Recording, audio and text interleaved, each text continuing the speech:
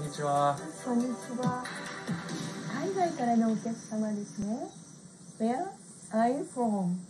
Me? Uh, a little country in Europe. You've never heard of it. Well, thank you for coming.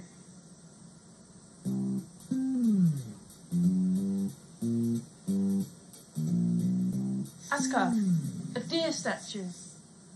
Oh, cute! This contains over 10,000 deer antlers. They were all offerings to the kami. Antlers?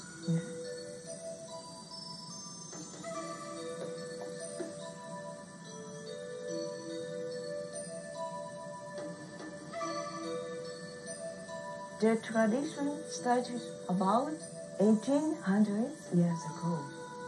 But actually, the shrine is dedicated to a guardian of the sea. Interesting. Okay, we found the deer the fortune teller was talking about. Now what? We find our target. He must be around here somewhere.